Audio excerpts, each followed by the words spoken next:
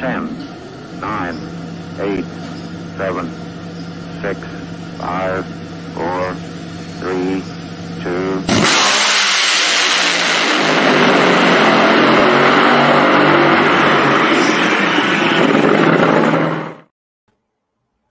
Ladies and gentlemen, live on CompetitionPlus.com. It is the Competition Plus Power Hour. I'm Lee Kraft, aka the Monday Morning Racer, coming to you live somewhere in the state of Indiana from an undisclosed motel on the road. And next to me is Mr. Darren Williams Jr., aka the man, the myth, the assistant editor for CompetitionPlus.com. Yeah, sometimes when you're reading on the place that you can well believe what you read on the internet, that man wrote it. Darren, how's it going? James Roger Lee Kraft. How's it going, my man? And like you said, you know, make uh, look forward to a, a cool Cordova recap, Funny Car Chaos in Cordova this past weekend recap written by yours truly. That should be coming up maybe within the next couple days or so, but watch out for that. But what a weekend of drag racing we saw, man. Like you man, said, got Funny Car Chaos in Cordova and NHRA Heritage Series. Look, great weekend great of racing. weekend of drag racing. You do not have to have an NHRA national event to have a great weekend of drag racing. Now, certainly, I'm looking forward to the Summit NHRA Nationals at Norwalk Summit Motorsports Park this weekend. But nonetheless, I don't have to have a national event to enjoy me some good old drag racing. There are mm-hmm. great cars, races, series out there beyond NHRA national event level. And I'm excited to talk about that. And then certainly with our guests tonight, which happen to be big players on the national scene, such as Bill Bader Jr. himself, the ringleader out there at Summit Motorsports Park in Norwalk, Ohio. And then let's not call it a comeback because she never left, Miss Erica Enders she will be on and we'll be chatting with her about all things in her jam, which is Pro Stock and that win of the NHRA Valley, NHRA Thunder Valley Nationals. That's an all star lineup right there. You talk about Bill Bader, you know, Summit Motorsports yes. Park, America's racetrack, and you got America's racetrack. I love America's how they go racetrack. they're like America's racetrack. Like America's racetrack might be able to say they're the Bellagio, and other places might be able to say the most historic or what, but they're like we're America's. Yeah. Yes. And then you got the and you got the five time champ, not five time, five time. Where's the camera at? Five time yes. champ, five. Eric Enders, first five. one of the season. A couple weeks in Bristol, and like you said, don't call it a comeback because she didn't go nowhere. We're kind of yeah. wondering, you know, a little bit of a slow start, only two round wins through the first few races of the season, but she goes four in Bristol, and like I said, she's back, and uh, I think she's uh, she just let the competition get a little bit of a head start, but she's ready to reel them back in now as we go forward here in 2023. That's right. That's right. Hey, folks out there, we see you in the comment section. Dive into that comment section. Let us know where you are watching from. Hey, did you watch Funny Car Chaos, Cordova Dragway Summer Nationals on Flow Racing, or did you happen to watch the NHRA Wally Parks Nostalgia Nationals there at Beach Bend Raceway on the YouTube channel? Thank you, NHRA, for providing yeah, that, that content cool. on. Uh, the YouTube channel. And uh, oh, by the way, there's a couple of live streams where you can find somebody, somebody on those NHRA live streams as well. Hey, I'll tell you what. So Flow Racing does a great job covering Funny Car Chaos, Nitro Chaos, and everything like that. I like how they they sprinkle in, you know, people tweet and they show those tweets up on the broadcast now. I like that little touch and that they do now. And well, well Darren, Darren, well, let me stop you. Let me stop mm-hmm. you right now. So so that everybody knows, let me let me let me let me help a brother out. And when I mean help a brother out, Mr. Warren Evans. Yeah. Behind the scenes, he is not a flow employee. You see how all that works out is it is a funny car chaos production that is sent to flow.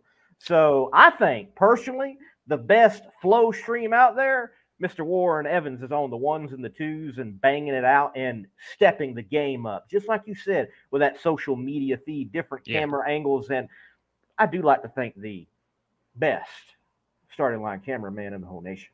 Oh yeah, you, are the best man. You're the man. You're the man. And and shout out to Warren Evans because that's the only reason I'm able to watch flow racing anyway. So, but we can move on. Right. hey, Drag Racing Central. Uh, he mentions that yes, the PDRA. They were at Maryland International Raceway. fine facility that has spectacular events all through the year. They had another great race as well. Great competition, great competition there at Maryland International Raceway. Yeah, and for sure. And just going back to the NHRA Heritage Series, you know, like I talked about the stream for Funny Car Chaos, NHRA, shout out to them for actually posting it on the NHRA YouTube channel. And what a great feat it was as well. I mean, great weekend, of great weekend of action, excuse me, full of nitro racing. We have fuel altered, nitro funny car, top fuel dragster, and a lot of sportsman action as well. The only critique I would have of the stream, and I know this is probably just due to not as many cameras on the property, but um, they had a starting line cam and they had a cam, I guess, somewhere on the tower we could see down track.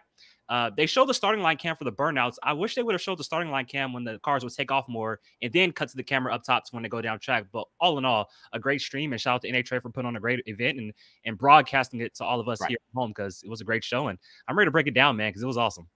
Good, good. Well, to give you some insight, even there, and for everyone watching, what that kit is, interestingly enough, uh, Warren Evans was behind the design of it, and it's designed for all these divisions when they do have their divisionals, double divisionals, and regionals for them to be streamed to YouTube and have some streaming capability. It is literally a big box, like, you know, a plastic toolbox that has got everything in it. And it's just a two camera setup. It's mm-hmm. basically get the show out there mm-hmm. and be able to have a stream. Let me say this if you want more out of what you're seeing, and I think double divisionals and regionals especially are worth it, and also something like the uh, Wally Parks NHRA Nostalgia Nationals is definitely worth it then uh, send something to NHRA, an email, and say, hey, we want more camera angles. Mm-hmm. Invest in that. Find a sponsor. Work it out. They're out there. I'm sure. Someone would step up and uh, maybe they need a pit reporter too.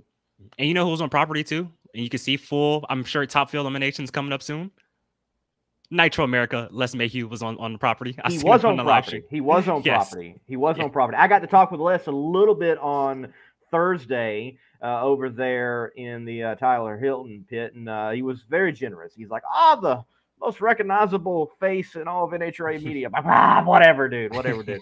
whatever. But uh, Les uh, does a spectacular spectacular job when he gets a video out. They are done phenomenally well. And uh, yes, that work, uh, whenever we do get to see it, will be spectacular. So, man, look, I was there Thursday, Beach Bend Raceway.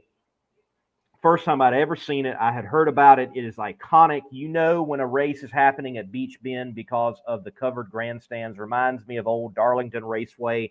I didn't know it. No one had really mentioned it, or I just had never paid attention. But the spectator side grandstand, the larger one, not the pit side, it's very neat, man. It's all old stadium seating from an old ballpark, and the old ballpark for that particular minor league team in Bowling Green is known as the Hot Rods. I mean, how fitting is that from an That's old cool. ballpark called the Hot Rods in now this uh, great uh, step back in time type of venue, and you've got these stadiums uh, seating still being used and uh, carrying the bums of spectators. it is a neat facility. You go, you you feel like you're well, you, you literally go to the end of the road, up and over the hills to the end of the road, past the Bowling Green, Bowling Green Country Club, and there you can see the wooden roller coaster off in the distance of the theme park and. Uh, the beautiful grass of Kentucky, and it sits down off the hill, and you can overlook this strip of asphalt where so many have ripped down it in the well, the sheer enjoyment of competition to win a trophy, whatever that trophy may be. And what a great facility to host this very type of event. It's got that throwback feel, and this definitely was a throwback facility. Now, Darren, I saw every heavy heavy hitter except you consider one possibly in Funny Car. Funny Car was a spectacular field for that Wally Parks NHRA Nostalgia Nationals.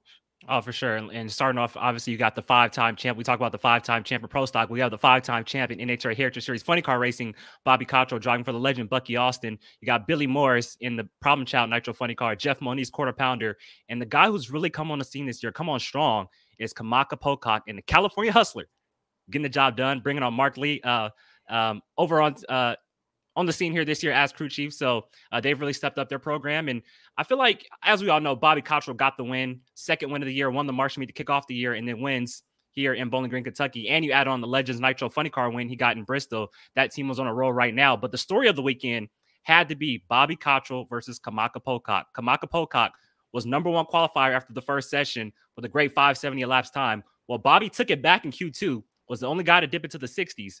Going into Q3, Kamaka Pocock was up first, could not take the number one spot back, and Bobby Cottrell actually pulled out a line after that. And the reason was is because they thought that Kamaka Pocock was the only guy who could take the number one qualifying spot away from them. The I mean, just a sheer just show of just like a great show of respect to that team to say, hey, you're the only team that can take this away. So, hey, they pulled out a line and then they went back and forth eliminations. Both teams laid down great passes throughout the first two rounds and then ultimately led to them meeting in the final round. And what a great final round it was. Kamaka Pocock went in and deep staged on Bobby Cottrell. Bobby Cottrell took a chunk out of the starting line as well, but a 008 reaction time from Cottrell in the final round. He gets the win, goes back to back, not only not only on the season, goes back to back in Bowling Green as well. Funny car was off the hook this weekend at Beach Bend Raceway Park. I want to ask this though, Darren, and no disrespect to the the team behind Bobby Cottrell, but do we have a competition issue right now, or has there been a competition issue for a while in those ranks of that particular style of funny car? It seems like continually that green Camaro is the one on top at the end of the day, whether it's qualifying or eliminations. Well, I'll tell you what, Bucky Austin, he's been out here for a long time. As you guys all know, Bucky Austin's a legend. He knows what he's doing. And also, the team tests the most. You got to kind of, a lot of, I wouldn't say new guys out here, but a lot of new crew chiefs still trying to learn their way and stuff like that. But I'll tell you what, the competition that's come on strong over the past couple years, it's not just Bobby Cottrell anymore. You got Tim Boychuk out there. He's been out there for a long time. He's been so good so far here this season. Jim Maroney, he's been out there for a long time. He's competitive. And you guys got guys coming on like Billy Morris. He won his first race last year out the California Hot Rod Reunion. You have Jeff Moniz in the quarter pounder. He's been close a few times. So there's a lot of guys stepping up. And I believe within the next couple years, we're going to see some tighter battles for the championship in Nitro Funny Car.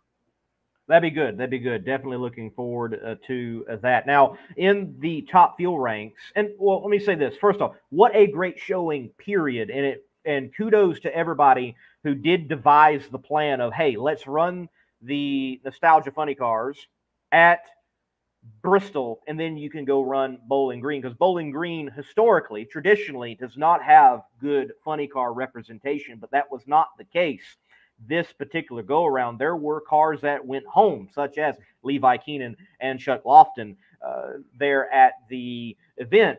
Oh, let me, so, let me let me stop let me stop you right there, Lee. Isn't it? It's kind of funny how uh, you know, these chaos boys come over try to go quarter mile racing and you know don't make the show. And you know, I think these heritage oh, series boys, these, okay. these heritage series boys, you know.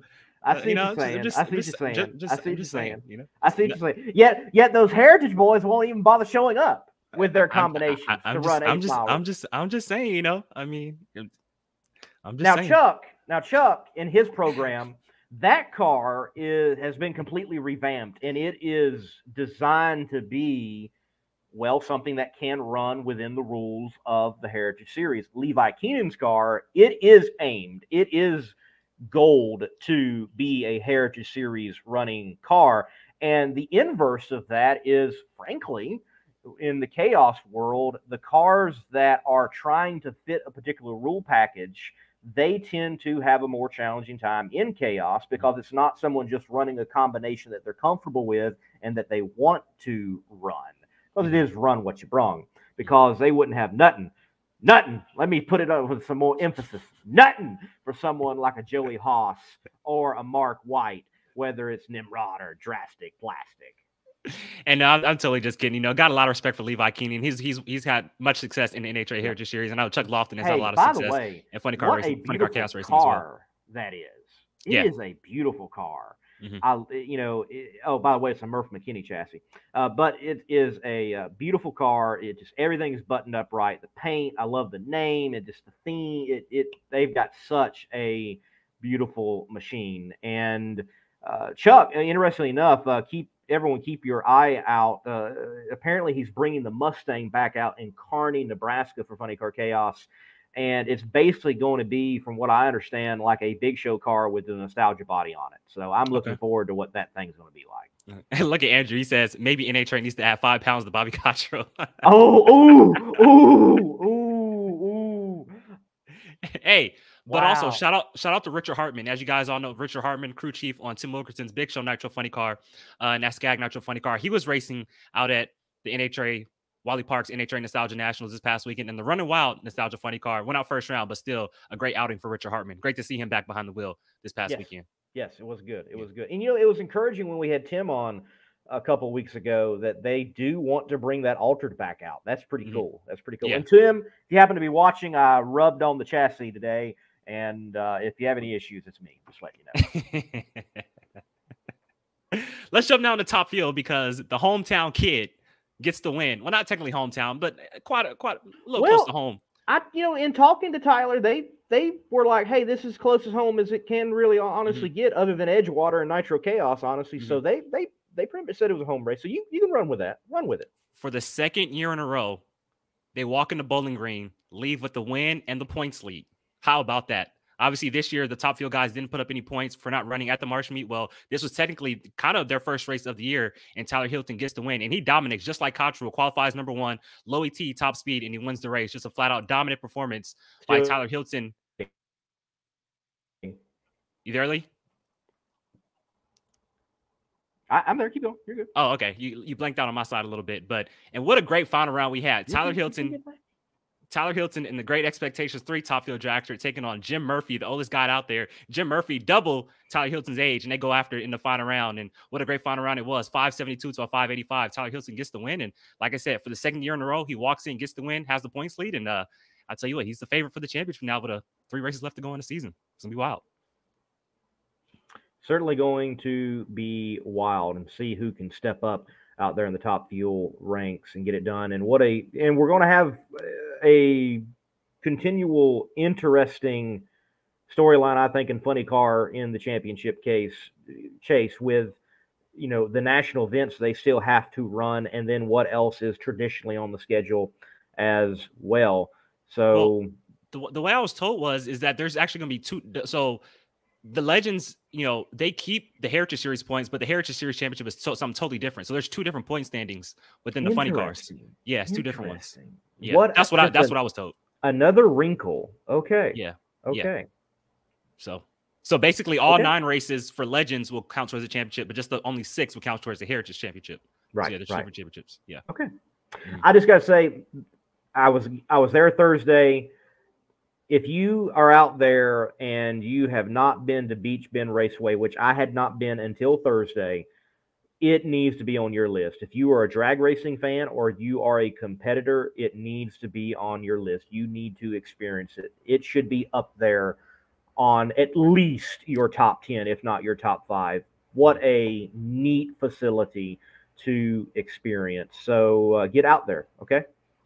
And also, everybody, if you would like to hear from the winners from the Wally Parks NHRA Nostalgia Nationals, Tyler Hilton and Bobby Cottrell, they'll be live here on Competition Plus, YouTube, and Facebook tomorrow night. Kings of the Sport podcast. Bobby Cottrell and Tyler Hilton will be live with us and Michael Anderson tomorrow night. So come and hang out and check it out. It'll be a fun show. It will be. Will be hosted by who? Darren Williams Jr. That's right. That's right. The guy it's... who talks drag racing at 300 miles per hour, literally. right. Yes, everyone love to say, hey, there's there's always a critic out there in the Peanuts gallery for sure. Always. well, man, look, I want to get your thoughts on chaos as well. I think those honestly, I think the principal drag races this weekend, that's not to slight any other series, were the event there for the Wally Parks NHRA Nostalgia Nationals at Beach Bend Raceway, and then the second edition of the revived Summer Nationals event nameplate at the famed Cordova Dragway, one of the most historic dragways in all of the planet.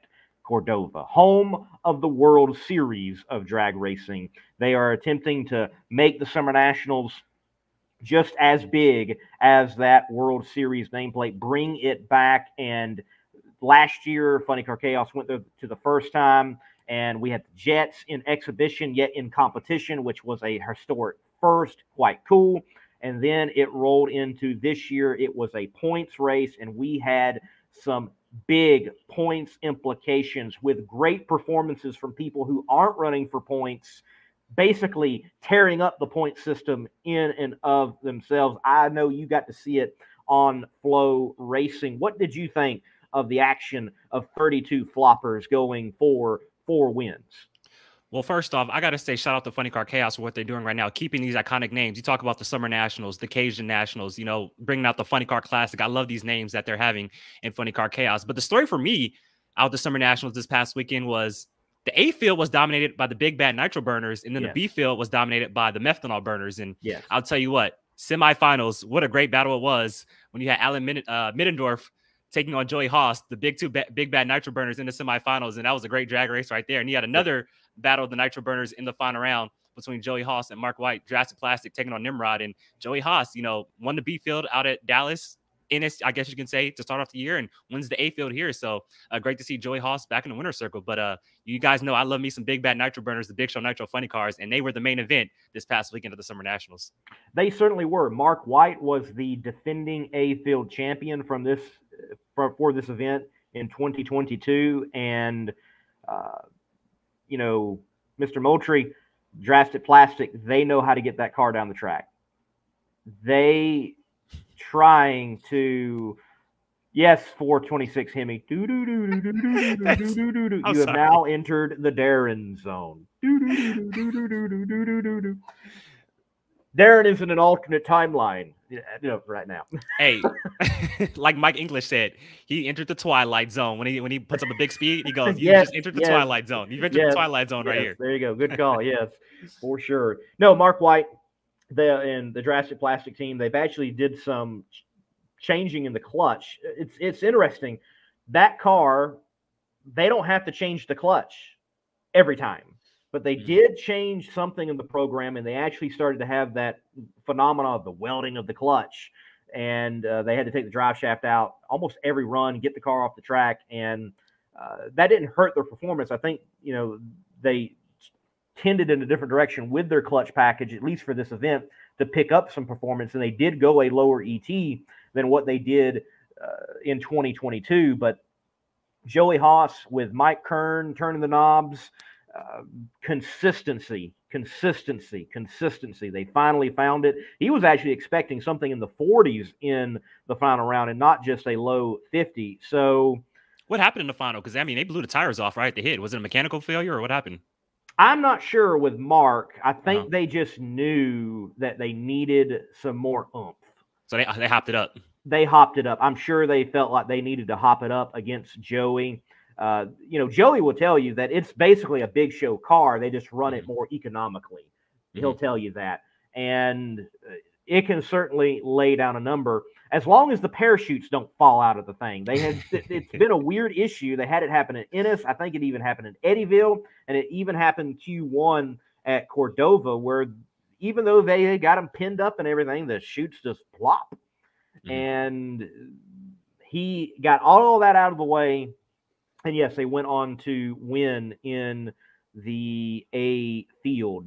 But Darren, the big talk, really in the chaos world, though the big bad nitro cars throw out those header flames and they put on a spectacular show. And look, I got to tell you, man, when you when I'm down on the top end and I'm waiting for those guys to turn around to interview them, whoever's won, and I'm watching and I'm filming and I got it zoomed in, and you I see header flames before I hear a sound. That's so cool. Oh, oh it's so That's cool. cool, huh? It's so That's cool, cool huh? man. It's That's so cool. cool. Yes, yes. I love it. I love it. Yeah.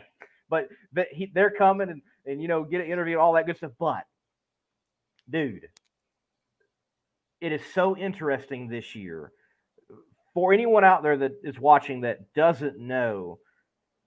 If they're in Funny Car Chaos, you have A, B, C, sometimes a D field and all of these fields are actually running for one championship. You're not running for A field champion, B field champion, C field champion. No, there's just one championship. Well, this year it has been a tale not of the A field leading the way, but the C field and the B field leading the way. Matter of fact,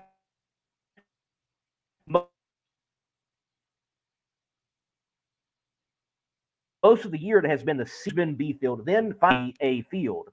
So in the C field at Cordova, we had a titanic matchup.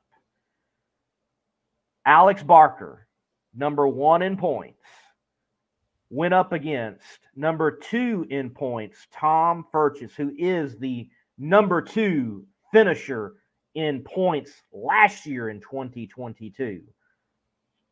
Huge implications right off the bat in round one of people that usually don't run in the same field. Mm-hmm. So this was a rare time that these two were going to face each other, and the points were going to get all shook up. And they did. Tom Furches on his birthday wins in the C field and takes the points lead. Are you going to sing the Made in America song now? No. I, I think you should. America. I'll say it for you right now. America. America. That's a that's a beautiful race car too, though. Yeah, it is. So, what a fascinating and wonderful weekend it was, and just so many. got so many comments from folks that they enjoyed the program. They even said best show we've seen at Cordova and those type of things. And when I go in the stands and film, when I have opportunity, I like to chat with people. There were some folks all the way from right below Madison, Wisconsin, and they had drove two two and a half hours to experience funny car chaos at cordova. And i was also next to one group. They were having a good time. They were hooping and hollering and they were placing you know the fun little bets and things of that nature and just enjoying drag race. Love seeing that when people come to the track and they just enjoy it mm-hmm. No, for sure, for sure. And and just going back off of it. So B field, obviously, you know, like I said, I love the big bad nitro burners in A field, but B field, I had a lot of a lot of dudes I was rooting for in B field. You talk about Jim Chase and that beautiful, beautiful 57. Oh, he lost so a, nice. That's a nice looking race car, right? So he got nice. eliminated. And you got Tim Cullinan, as you guys all know, Tim Cullinan used to drive top fuel back in the day and now drives front engine top fuel, but also bring a funny car this past weekend. And he goes out and uh yep. and then you talk about Mike Minute in the Chi Town Hustler. I was rooting for him you know, you got to roof for the which is another beautiful car. Oh. Another beautiful car. Just, just kept they just kept dropping and dropping and dropping. But uh, congratulations to uh, Robbie Massey. He gets to win in B field. But uh, just an all around great weekend of racing. You talk about funny car chaos and NHRA Heritage Series, just great racing, you know. And obviously, we're going to back that up now with the national event in Norwalk this upcoming weekend. I can't wait. Yes, and and look, shout out to Robbie Massey. They apparently set out for like two years, didn't run a funny car, and they saved some money, got some new parts, put everything back together. They come back at Eddyville and at, at one time were provisional number one qualifier. Certainly made it into the eliminations. They didn't have it go the way they wanted to in eliminations there, but they certainly did have it go the way they wanted it to in Cordova. And hey, Jesse Clark, hey, Jesse Clark, shout out to him making a final round in Cordova. He's runner up. He gets past round one over Kirk Williams in Eddyville, and he's only been down the track in a funny car like 15 times. Not bad. Not bad at all. And you talk about returns. How about Alan Middendorf making his return? That was his Huge. first race since what? Huge. It was what 2021, right? Or 2020? Was the last time he was out that I can recall in a drag car period, it was the first Funny Car Chaos Funny Car Classic at the Texas Motorplex, and wow. the car had that chrome look. Yeah, that's the last time I remember and he did not have a good classic that go around whatsoever. So good to have Alan Middendorf back out. He is one live wire, dude, and I cannot wait for him to be back out there regularly and routinely. He's going to be at Maryland International Raceway for the first ever East Coast representation of Funny Car Chaos. So, yes, keep your eyes on him. It did not take long for him to do something, and I'm like, that might be the chaotic moment that I've got to put together and put out there on YouTube and Facebook. It did not take long at all, but uh, can also expect on the Funny Car Chaos YouTube channel full recap done by yours truly on the YouTube channel if you didn't catch it on Flow Racing or you do not have Flow Racing and a and underneath the flop top, which is a uh, bio type of piece on the Funny Car Chaos YouTube channel with Mr. Middendorf himself. So looking forward to that. Darren, we could continue to talk about chaos, PDRA, Heritage Series, all of it, but we got in the green room the man, arguably the top promoter and track owner in the nation, Mr. Bill Bader Jr. Ready, ready to talk to him? Lee, you ever heard of PT Barnum? Yes. I never had until John Force won there about a decade ago, and he kept mentioning PT Barnum. I just look it up. I remember watching that race. I was a kid at the time, though, but I was watching the race. Of course, you know I'm a John Force fan. He wins the race, and he kept seeing PT Barnum. I had to look him up. It's a circus. But I'll tell you what, Norwalk, they do a big time out there, most entertaining track on the circuit, and I'm uh, I'm honored to get to talk to the man who leads it all, Bill Bader Jr. Let's get into it. We are right after this, and we want to say thank you to Weldon High Performance Pumps because they pump the show up.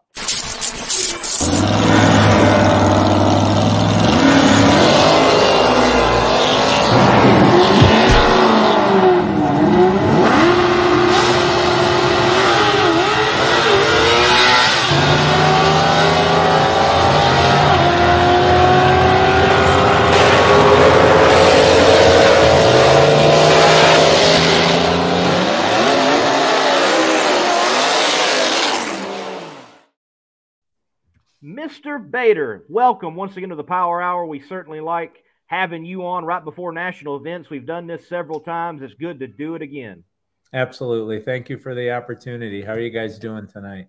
Doing wonderful. Good.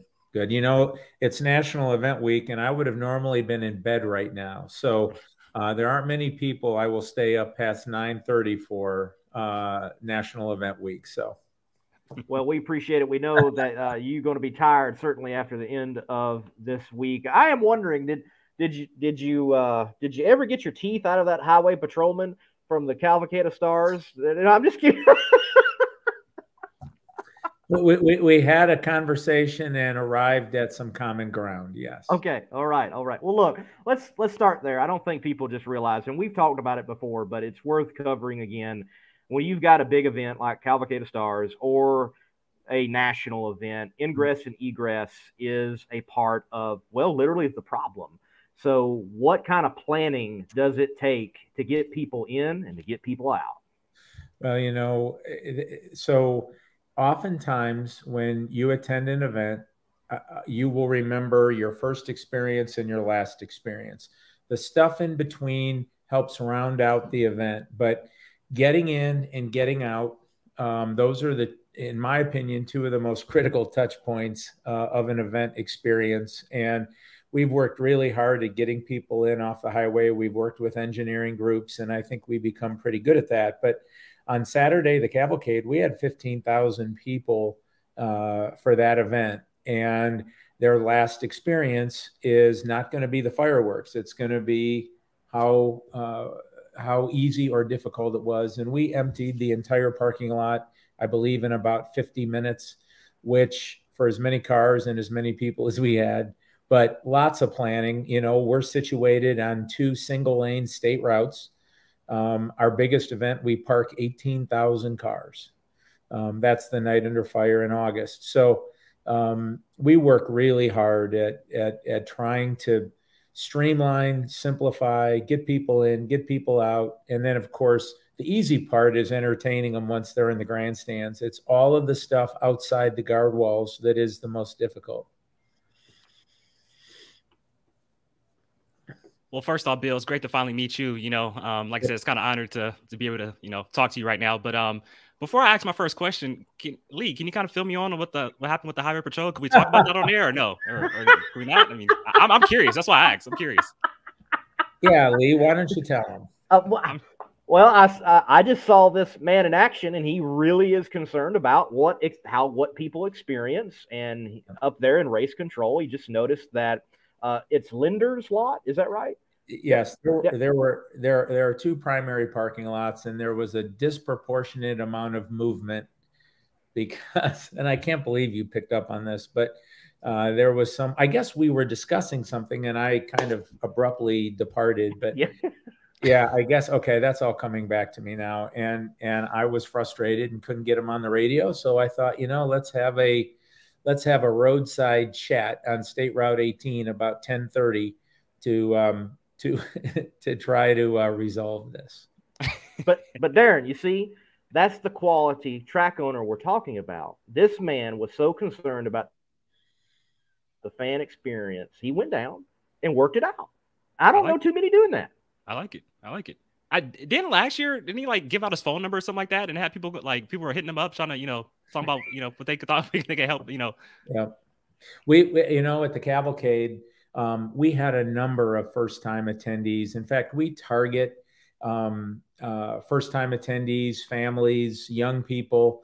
And, and, that's really part of the Cavalcade of Stars uh, marketing strategy. And so on Saturday, while we were announcing Don O'Neill, uh, I guess I was his assistant um, at the Cavalcade. I'm not sure how that happened, but nonetheless, I was working alongside Don O'Neill and I decided to give out my phone number um, and I said, hey, if you have a question or a comment or something you're not sure about, we were talking about how much a funny car body weighs. We were talking about why they back up, all this different stuff.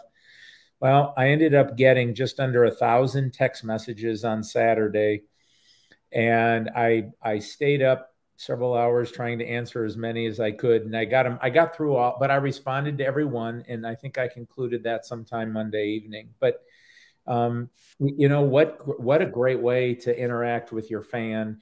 And as an announcer i think my job is to educate. For the person who knows everything that's going on the seasoned race fan um, there's not really much i can do to, to really educate or provide insight unique insight. So I, I, I, take a little different tact from a traditional motorsports announcer. So what we did is we, we got the fans involved and we got them asking questions. We were answering in real time. We did some different online polling or or uh, text polling or different things, and it was remarkable the amount of fans, the amount of racers. There were racers at New England that were responding.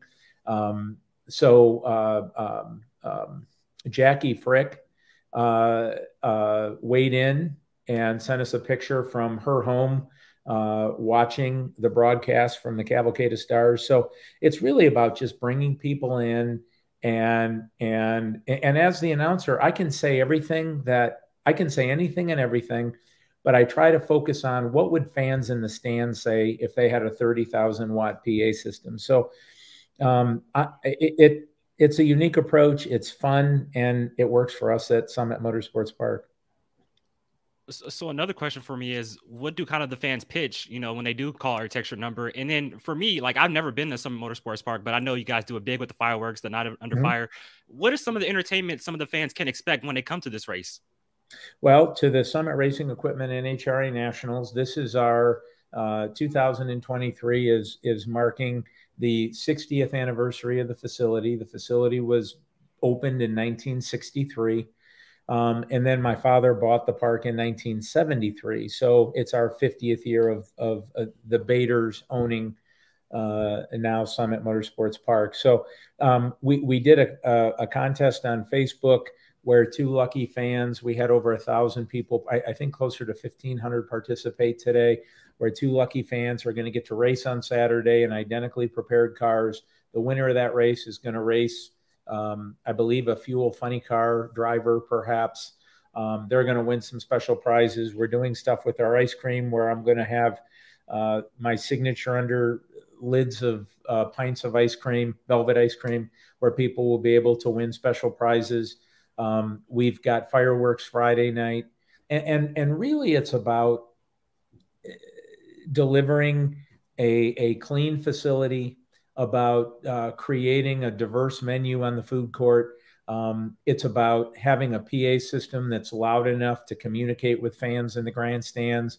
Um, our, our layout is unique um, in that we're a two sided track. So we've got pros on one side, sportsmen on the other. But the minute you step through the Legends Gate, um, there's activity. I mean, there's a hundred, we're a 300 acre facility, but we'll have 100 acres of race cars and midway and uh, unique things to see and and of course being able to get into a locker room of a professional race car driver is something unique that only drag racing offers so um, it, it's really you know i i sent out an email to our camping guests tonight and I, I, simply welcome them back home to Summit Motorsports Park. So every year it's kind of like a reunion, and it's hard to believe we have been hosting this event now for 17 years. That's pretty remarkable.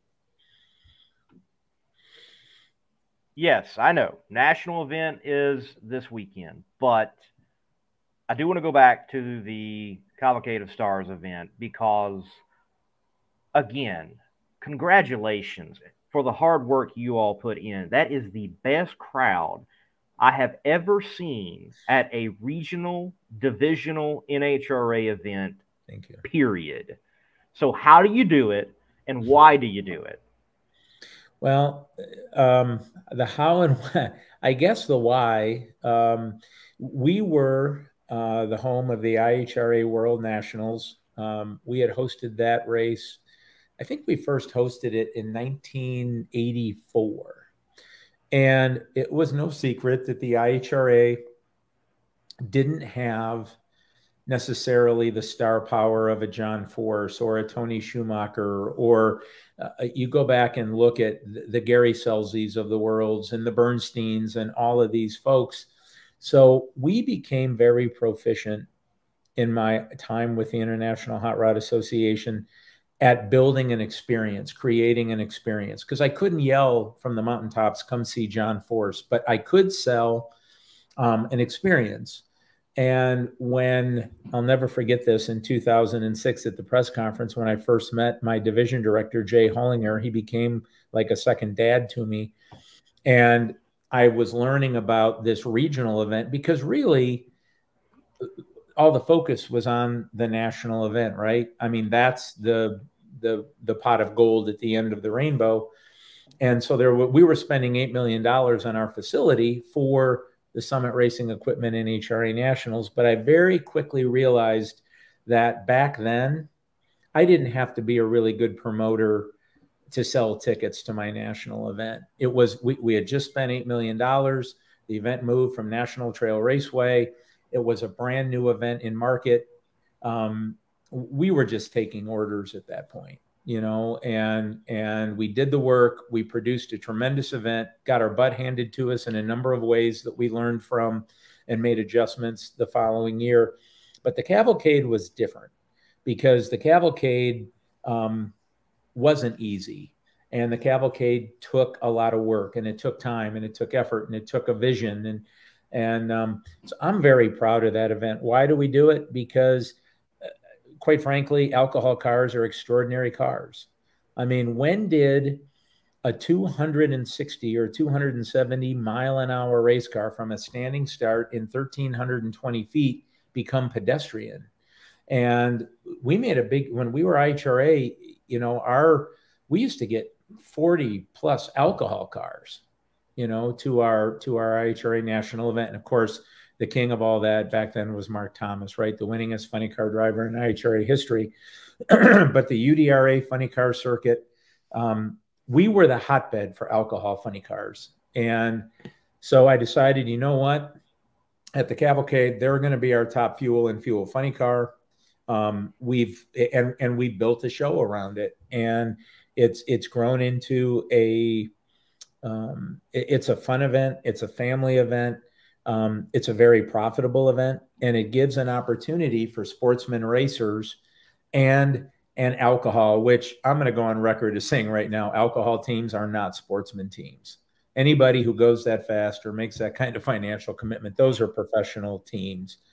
Um, they deserve that kind of exposure. Though there were more people in the stands watching alcohol at the cavalcade than perhaps we'll be watching them um, maybe this weekend at, at the Summit Racing Equipment NHRA Nationals because they're overshadowed by the kings of the sport, right? So this is an opportunity for them um, to put their best foot forward.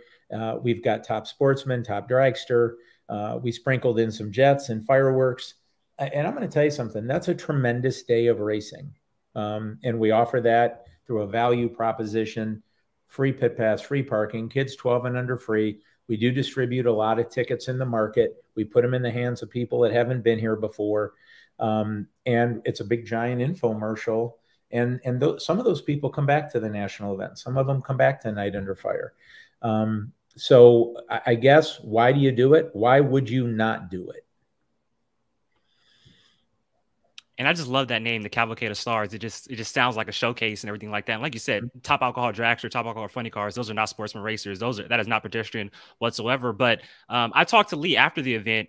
Um, I know you were super busy during the event. He, he helped you meet uh, top alcohol dragster superstar Julie Nataas. I know. Yeah, yeah, yeah. Um, Julie Nataas, or I, I, I don't know. Maybe I've been pronouncing her name wrong for all these years, but um, I, I just think she's just a fabulous young lady. She was uh, somebody I've I've uh, watched interact with fans, and yeah, I made a comment that I would like to get her autograph. So my man Lee uh, made that happen, brought her up to race control, and and I was like a giddy little kid. good job, Lee. Good job. Yeah, good job, Lee. Thank thank you for that. Doing God's work, man. Doing God's work. Absolutely. Right, right, right. Well, the person actually doing God's work is Bill Bader Jr. here yeah. and getting it all done. When look, national event, you know, we've talked about its challenges, and certainly there's challenges involved.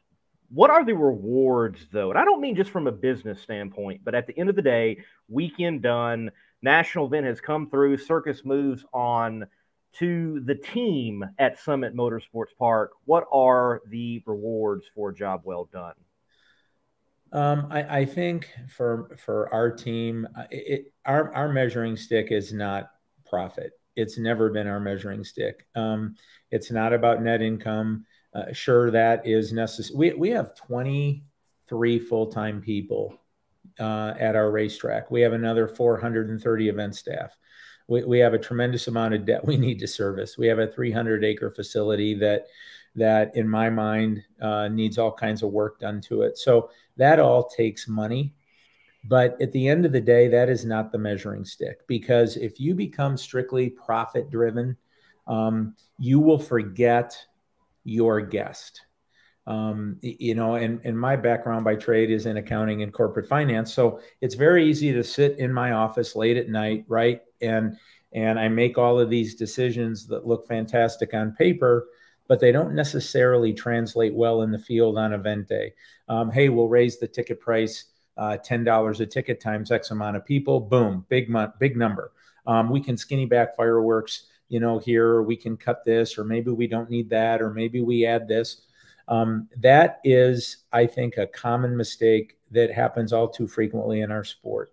So, my ultimate measuring stick, my team's ultimate measuring stick is our level of guest satisfaction. So, when we get giddy, it's about all of the emails, all of the text messages, all of the cards, all of the phone calls that come in where people talk about their experience, their experience with a loved one. Maybe it's a maybe it's a husband and wife, maybe it's a grandson and a grandfather. Um, so I, I think the measuring stick and the ultimate reward is how your guests feel about their Norwalk experience. And that is something my father started. It's something that is central focus um, in everything we do. And this is the most grueling week of our year. Um, we, we had a Friday test and tune. We had 500 cars for our Edelbrock Super Series race, which is about normal. Um, we we come in Sunday morning for a series of meetings with with we have a parking meeting, we have a security meeting, we have a operations meeting with all of our uh, management and supervisor. There were about 70 people at that meeting. And we just run now until, I mean, we've got, I don't know, a couple hundred, 150 sportsman teams sitting in Linder's lot right now. Um, the park is bustling. The phone is ringing off the hook. Um, so it is a, it is a marathon. It is a grueling event. It's an exhausting event. But what makes it all worthwhile is looking in the eyes and in the faces of your guests. They're smiling. They're they're stomping their feet. They're cheering for their favorite driver. They're getting their autograph.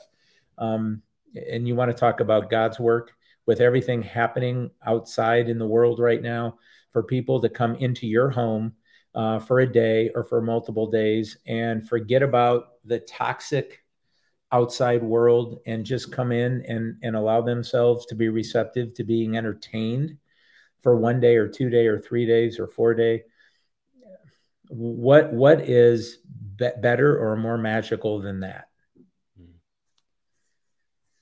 Uh, I definitely do agree with that. And and just going back off the challenges and you know and um, the rewards of this race.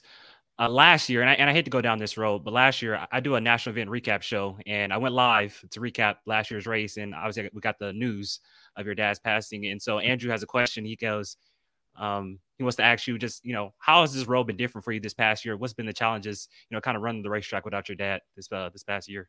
Um, you, you know, my dad, uh, when he bought IHRA in 1997, 98 timeframe, um, he basically came in, said, Hey, um, here are the keys.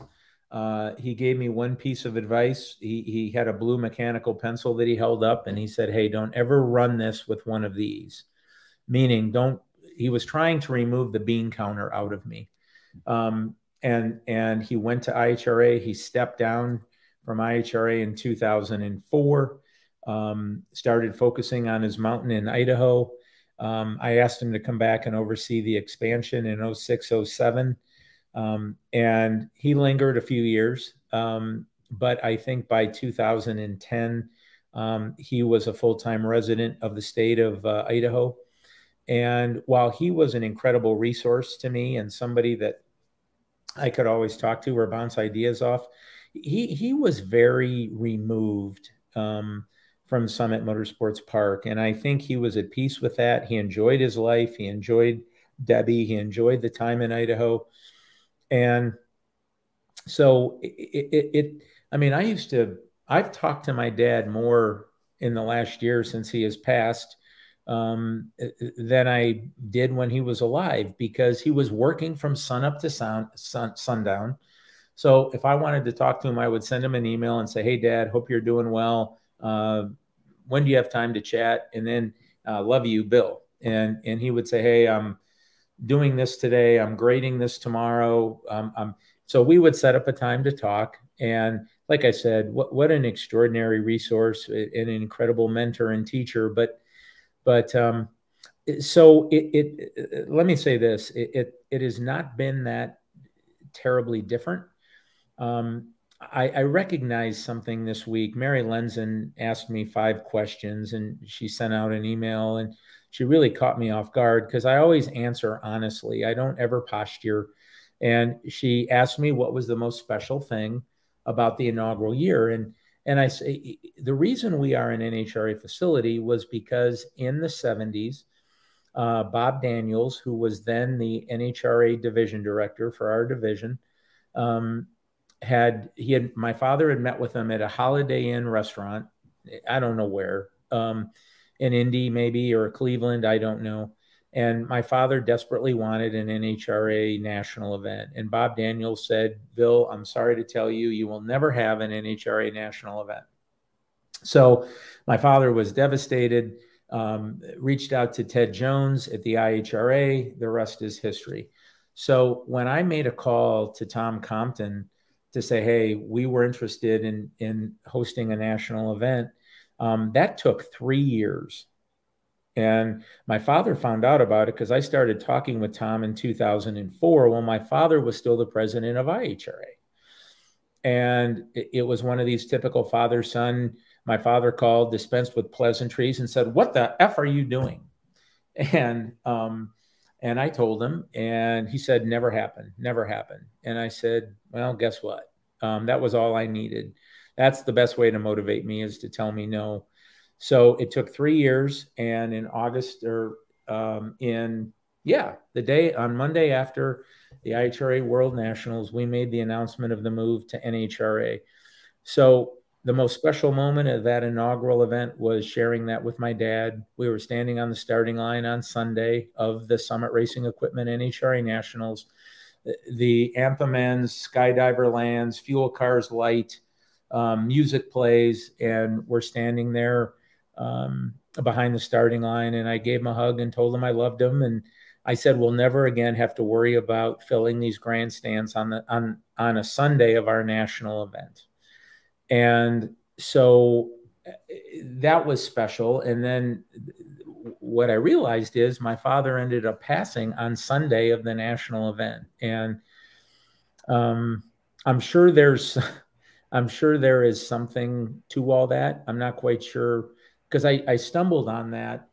I stumbled upon that quite by accident in talking with Mary just a few days ago. So um, I, am sure there's some meaning to that, and I'm sure I will discover that at some point. But you know, the best way I can honor my dad is work my ass off and and deliver the Norwalk experience.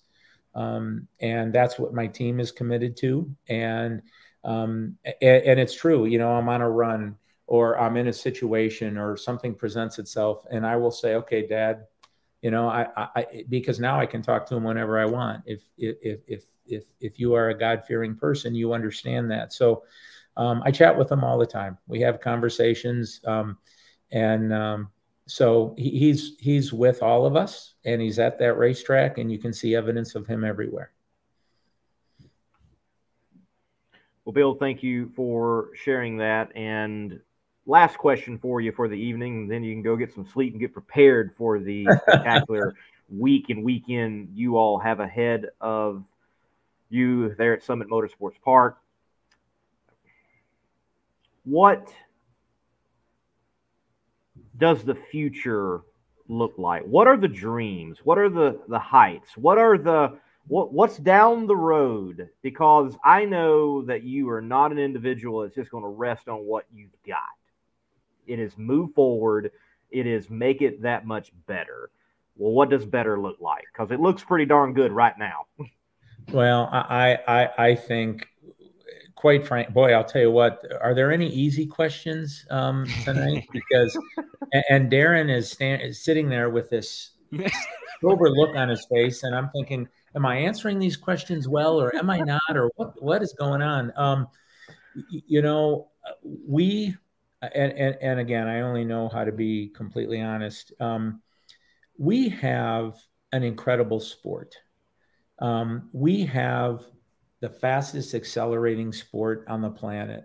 We have a sport that is tailor made for a for a for human consumption by humans that have a short attention span. We can show fans a new race every 15 seconds, every 10 seconds, every 20 seconds. Um, we've just got to be better. Um, we, we, we, we've, we've, we, we, the future I feel for drag racing is unlimited. Um, but we've got to be better. Uh, creature comfort features. Um, we, we, why are we afraid to put an unconditional money back guarantee on an experience at our racetrack? Um, uh, we, we, it's an expensive sport. Um, it's an exhilarating sport. Um, th- there are things on the business side that need to be brought under control, but but the long and the short of it is we we are the last great unrealized sport, American made sport in the United States. Um, we we are, you know, the product life cycle, right? Infancy, growth, maturity, decline. Um, I think we're in the infancy even though we're 60 years old, um, I, I, think we have incredible potential. We have incredible growth potential. Um, we we we are a family centric sport. I think we need to focus on that. I think we're a Christian conservative sport. I think we need to focus on that. Our drivers don't take a knee. Our drivers are patriotic, red, white, and blue Christian Americans. Um, I think we need to play to our strength, and I think we not we need to not be afraid to do that. Um, I think we need to make improvements to our facility. I mean, for as proud as I am of our facility, I, I could I, have got a list twenty pages long of stuff that's wrong. Um, you know, flush bathrooms, showers, paved parking lots, um, well lit parking lots, um, uh, more midway attractions, um, better Wi-Fi. Um, I mean, look at Levi Stadium. Look at where the Cowboys play. Look at look at the major league stick and ball venues. Um, if if if we want to rival um, the stick and ball sports, we, have got to be better, and we've got to reinvest, and we've got to passionately be committed to our fan base. Um, I have 300 acres. Um, gosh, multi-use facility. Um, I'd like to I'd like to look at um, different forms of entertainment. I mean, I covered 450 feet of my racetrack last year to host the World Series of Pulling. Um, we need to, I, I could cover my racetrack and host a football game. I could build, I could have an XFL team uh, next door, um, r- road courses, concerts. Um, uh, I don't know, anything entertainment, anything that can entertain mom, dad, and the kids. Um, water parks. Um, I, I, I, don't know. I, I don't think there is a limit. Um, we just have to be better at what we do. Well, Bill Bader, thank you for everything you do for the sport of drag racing, and I'll tell you what, putting the, pan, the fan first and all your passion. Um, I'm gonna leave you off with this, and this probably isn't an easy question right here either, but I just got to know because this is something that just it just irked me for so long. Um, I did a video about Eddie Hill not too long ago, talking about his 1988 season, and so you mentioned the World Nationals a lot, and how the World Nationals used to go up, you know, the week right before the U.S. Nationals. I know yep. a lot of guys used to bring, you know, their newer newer stuff to the World Nationals, you know, before taking it to the U.S. Nationals. So I'm just going to ask you this. Eddie Hill, 1988. I read a National Dragster article saying he debuted his direct drive high gear only setup at the U.S. Nationals, but did he actually debut it at the World Nationals the week before? Do you know or not? I believe he did, but I don't want to misspeak. Um, okay. I, I was doing PR for IHRA back then, and I'm going to tell you something. One of the most loving adorable husband and wives I have ever had the pleasure to deal with was Eddie and Ursi Hill. Um, we were we were going to do press, and um, we dropped Ursi off at a mall to shop while Eddie and I went and did the press junket. And he never took his eyes off of her until she was in the door of that mall. Um, that is one of the finest husband and wives I've ever had the pleasure to deal with. And and um, you know, I, I, I would have to ask Eddie that question. Um, but we were oftentimes um, the proving grounds for a lot of stuff that was going to be showcased a weekend later um, at the big race, so to speak. And that always bugged me a little bit because I was pretty proud of our race too. Um, I remember one year Scott Kalitta debuted his new Toyota body. And he went off the end of the track into the sand trap. And he was in the finals. Scott Kalitta was in the finals with this new Toyota body that was going to be debuted at the US Nationals. And he was running, I believe, Gary Densham in the finals. And Densham comes up to me and and and and we were waiting for the finals. And I believe this took place at our last World Nationals in 2006. Um, and Kalitta made the decision that they were going to split a professional category because Kalitta needed to get that body home, to get it rehabbed, to get it ready to go to debut at the U.S. Nationals. So I believe it was Scott Kalitta. I believe it was Gary Densham. And Connie didn't ask to split. Connie told us how this was going to all go down. and Gary Densham heard that there was going to be a split. And I said, Gary, talk to Connie. He said, Oh, Connie, Connie made that decision. I said, Yes. And he said, Okay. And he turned around and walked away. So I know that the IHRA World Nationals were the proving grounds for a lot of things that made their world debut on the big stage at the US Nationals one week later. Lee, do we have time for one more question? Just one more. Do we have time? If if Bill wants to take it, if you yeah. Absolutely. Absolutely. Right. He's not tired yet. no. So just speaking on Scott Kalitta, um, back to that 08 season, correct me if I'm wrong. I believe Scott Kalitta passed the race right before you guys they came to Norwalk. How did your you and your whole team kind of handle that um, after the passing of Scott Kalitta? So um, I had a meeting scheduled for Monday morning with Conrad at his office at Willow Lake Run. And I had heard what happened at Englishtown, and it broke my heart. I mean, the Kalittas and the Baders are very close. I called Connie and I said, Listen, I'm very sorry um, we can reschedule this meeting. Um, in in in typical Kalitta diatribe, he rah, rah, rah, get up here. So I drive up Monday morning. Now, this is the Monday morning immediately following Scott's passing. And I had a business, I had a problem with the FAA and the airport that lives just north of me. And um, Connie, to his credit, set that aside, helped me with my problem. And he said, Now I have a favor. I would like you to spearhead um, a memorial for Scott. And so on that Thursday, the week of um, our national event, we um, rented the high school and we held a memorial for Scott Kalitta. Um, and I believe that we were the last quarter mile race on the NHRA tour. Um, and it was that weekend um, and the memorial service leading up to the, that weekend of the second annual Summit Racing Equipment NHRA Nationals. But, uh, and of course, we have a national event to get ready for. It's our second year. Tickets are on fire. Uh, ticket sales are on fire. And, um, but I, I, there was no way I could tell Connie no. Um, we had been through a lot together over the years. Uh, Connie match raced for us. Connie is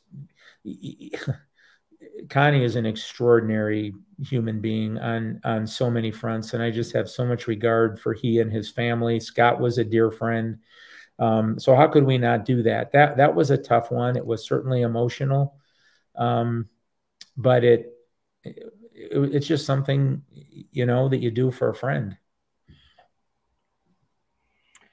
Well, Mr. Bader, thank you for all that you have done. Thank you for thinking about those that, though you may not know them, you want them to be friends of your facility and you treat them friendly. Appreciate that.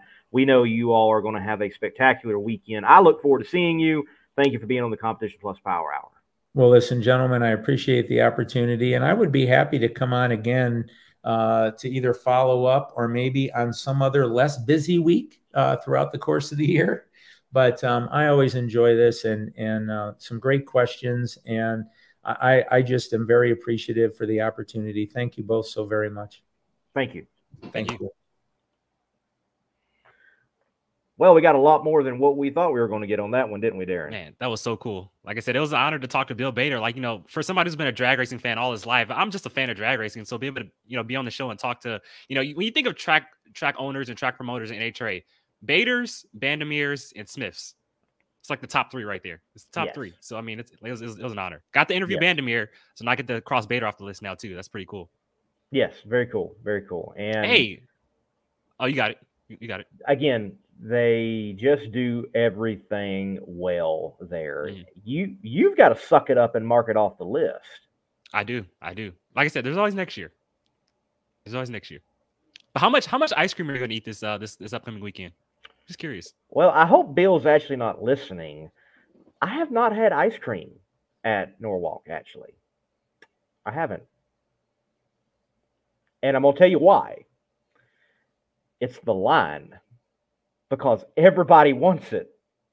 it is a long line. Sure. And I am usually running around doing the work, doing the deal, telling the story. Mike said that's a shame. that's and a shame.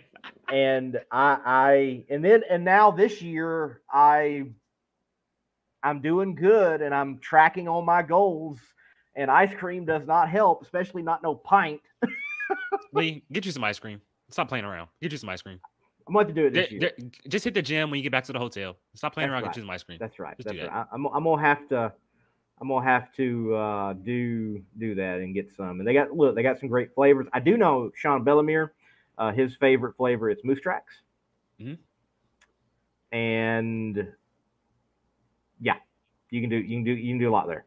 So when you're when you're a lean, mean, sexy chocolate machine like myself right here, you can eat whatever you want, not gain any weight. You know, you can you know. So wow. I mean, just saying, just saying. You know, burgers, wow. pizza, ice cream, don't matter. I can have whatever I want. Don't gain no weight. You know, fast okay. metabolism. You know, it's easy. Okay. Okay. I do look very greasy tonight, though. I don't know why. Well, ladies and gentlemen, before we go down that route any further, we do want to inform you Erica Enders, we still plan on having her on the show. She is in transit, going to get home and then pop on. That's what we have been informed of the situation. So we're going to take a quick break, come back, and we're going to continue to talk about, well, what? Drag racing along with you here on the Competition Plus Power Hour. Competition Products, your source for hardcore engine parts for street, strip, and oval track. Our free catalog is packed with hundreds of product lines from the best known manufacturers in the performance industry. Lowest prices guaranteed. Free shipping and handling on all orders over $149 in the continental U.S. Need expert advice? Our knowledgeable staff is just a phone call away.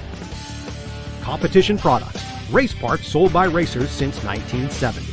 Classic car owners, make your headlights over twice as bright with Holley RetroBright LED headlights. A plug-in replacement for those dim halogen seal beams, RetroBright maintains that classic look and lasts six times longer. Stay safe and click the link below to learn more.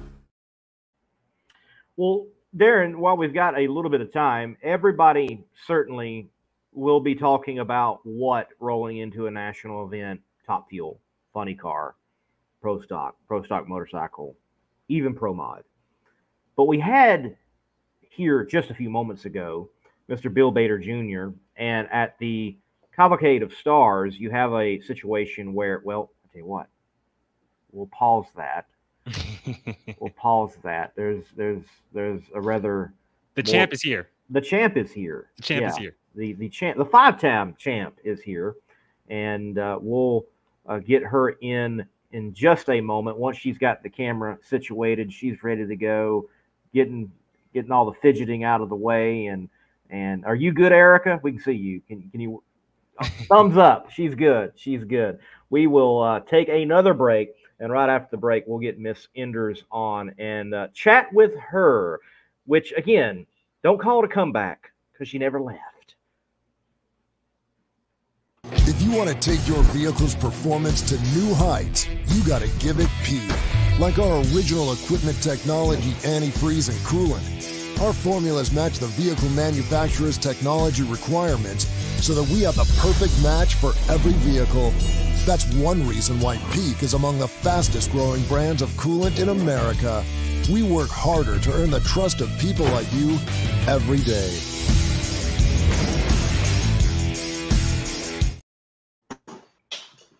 And she walks away. I'm here. She's here. Okay. You can finish the drink or whatever you were getting if you need to. What, I what? wish that's what I was getting. well, hey, it is good to see you. I've been so busy with chaos and the nitro ranks. I haven't wandered myself down in the pro stock ranks in a while and chatted. So good to have you on the show tonight. Thank you for having me. Well, Erica, first off, I mean, thank you for being on our show here tonight and coming off a big time win in Bristol a couple weeks ago. And I'm not just a win, but qualified number one and got the win. You know, how good does it feel for you and your team to be back on track heading into Norwalk this uh, upcoming weekend?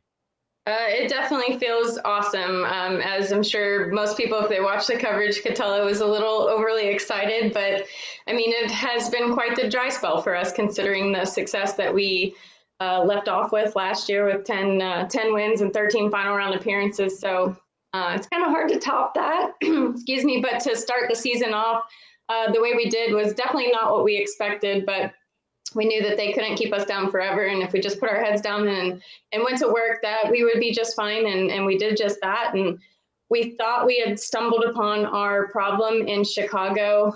Um, first round of qualifying, we ran pretty decent.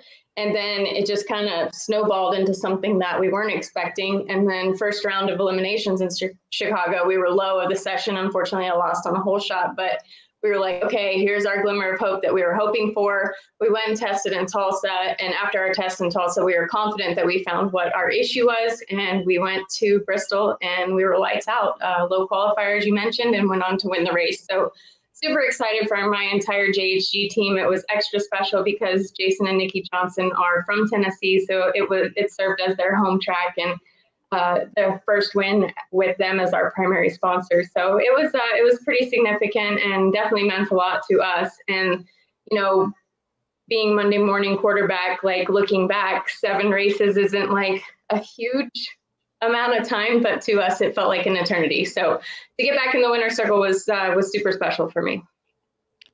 And just going back to last year, and I, I know you probably you know forgot about this, but just going back to last year in the final round against your teammate Aaron Stanfield, um, with you blowing the motor, was that kind of one where you kind of want to get back just with just how crazy and dramatic it was? Yeah, absolutely. I mean, that final round was really, uh, really interesting. It kind of tried to take the tire off as I let the clutch out, and I looked over and I didn't see Aaron, so I knew that he had shook as well. And so I just stayed in it um, around the third gear portion of the racetrack. I knew I had a pretty significant issue, and normally I would have aborted the run, but in the final round, um, just being the finals of a national event, uh, my mindset and then my my team owner has reiterated to me a thousand times that we're in the finals. We just he said you leg it whether the rods are hanging out the side of it or not. So we were definitely going for it and you know smoke filled the cockpit and i wasn't able to see or breathe but i just tried to stay where i thought was straight and uh, and hopefully aaron wouldn't catch us. But uh, he did and the only justification for that was that he was my teammate and it was his first Father's Day as a dad. So that was a that was a pretty cool win for him. But definitely one of those ones we could get back and uh, wish we could get back. Uh, but it, it worked out the way it was supposed to. You are now going to be a part of your first Too Fast Too Tasty challenge. That whole program, I'm sure you thought you all would be in that a lot sooner and not just this time of the season. But the whole program, you've been seeing people participate in it. What are your thoughts on it? I, I think it's awesome. I think it's really important that Mission stands behind it and they're supporting our sport and our class, uh, especially, and to have a world champion like Angel be uh, affiliated with it is even that much more special. So, uh, TJ Coughlin, my teammate, won the first one that they had in Phoenix, Arizona this year, and it was really exciting to be a part of that winner circle.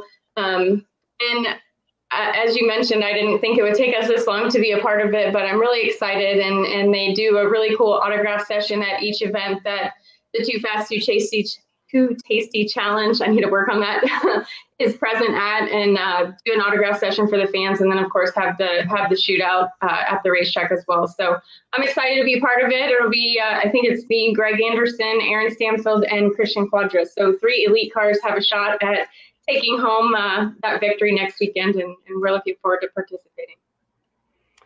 So certainly there were some type of issues with the performance, but I'm curious with the way the point system is, and you really need to get hot at the right time. Let's say Bristol doesn't go the way in which it did. Let's say it's another round one exit, didn't qualify as well as you all would have wanted. Does a, a time frame of Bristol or Norwalk, or when is the time frame that as a professional team you start saying we need to get hot now so that we can turn things around in the countdown? well, well, we wanted to be hot coming off the trailer at the first race this year, uh, as I'm sure everybody does, and th- those were our expectations coming off of the year that we had last year. And honestly, we didn't change a whole lot with my race car, so we were slightly flabbergasted at our lackluster performance. So um, we just we just kept working at it. And if you guys remember, in 2016, coming off two back-to-back world championships in 14 and 15 um, we had all the rule changes and we switched manufacturers, and we had absolutely the most devastating season ever. So, um, you know, someone in the press room in Bristol asked me, you know, how has this seven race drought been like mentally and as a, on the human side of it, the human aspect of it, like all of the negativity and the things that have been said and done and what's happened or transpired this season, the things that we went through in 16 we learned that it made us stronger and that you cannot break us. So nothing has ever been that bad uh, with with my partnership here at Elite Motorsports as it was in 2016. And fast forwarding to this year, yes, it was a very challenging start, but we knew we knew our other cars were running decent, um, mediocre for our standards, but decent, and we're able to park a couple of them in the winner's circle throughout the season. But we knew if we just hammered down and put our heads down and went to work and ignored the naysayers and just focused on what we need to focus on, that we were going to be just fine. So I truly believe that we have turned our season around. I think that you can expect great things from us uh, moving forward as people have in the past. But um, yeah, definitely, uh, definitely super challenging. But to long-winded answer to your question, um, there's not really a, a, point of comfort in when okay, well, this is this is the deadline when we need to do well. But up to this point, like, were we pissed and uh, disappointed? Yes, but we weren't we weren't worried. Um, we knew with the countdown structure, and then now you know, since COVID, if you compete at all the races, they have the participation trophy entry into the countdown. So we knew we were going to be able to race for a championship, but you definitely want to position yourself as, as high up in the points as possible going in. Um, just from our performance last weekend, we went, I think, from 15th in points to like eight, and we're just like a round or two out of six. So I think uh, if we just stay on track, we'll be we'll be right back in the mix of things, and we'll uh, we'll go after defending our title. Erica, for someone who, who races for championships on a consistent basis, who's won a championship in the final round of the final race of the season, and just knows how important little points are, how important is it for you and your team to get on the road and start competing in, in these mission foods, too fast, too tasty challenges to get those little points? Because as you know, like I just said, you've won a championship final round, final races of the season. It came down just a few points. How important is it for you and your teams to start racking up those points and have those going into the countdown?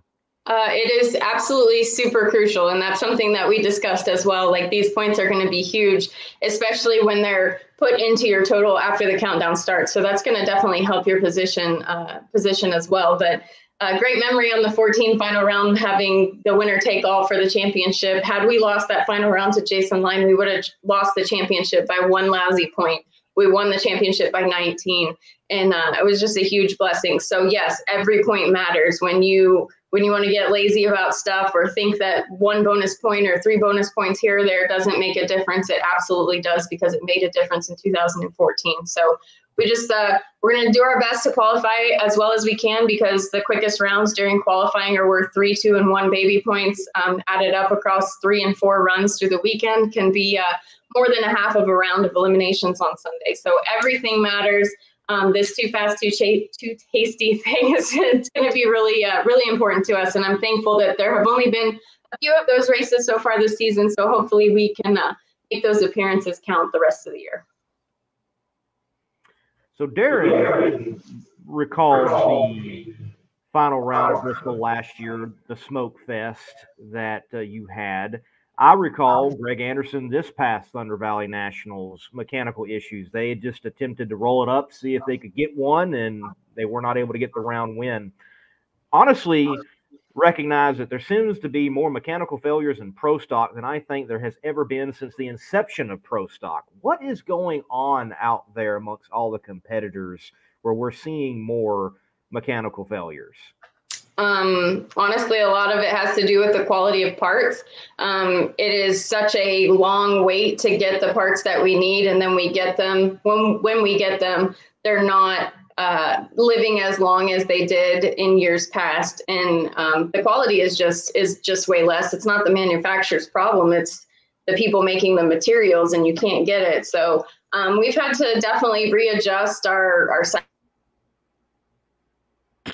and um, you know, I don't I don't work back there in the engine shop, but I, I'm back there enough and I hear them talk enough that that is definitely a huge problem for people across the board. And um, you know, Greg, I think they discovered that they had hurt the engine the round before um, and didn't identify it until too late and came up and tried to do a burnout and ended up blowing the motor up. So um, super not great for him. And despite the fact that we're like ultra competitive, like you don't wish that upon anybody because catastrophic failures like that can cost upwards of a hundred thousand dollars. So it's not fun, it's not fair, and it's not okay. Like I, I guarantee you, I would have much rather raced him than than taken that competition by. But um, things worked out the way that they needed to for us to get that victory that day. So it is what it is. But it's um, parts are definitely an issue, and and it sucks. But people are dealing with it across the board. So you just gotta take the good with the bad, I guess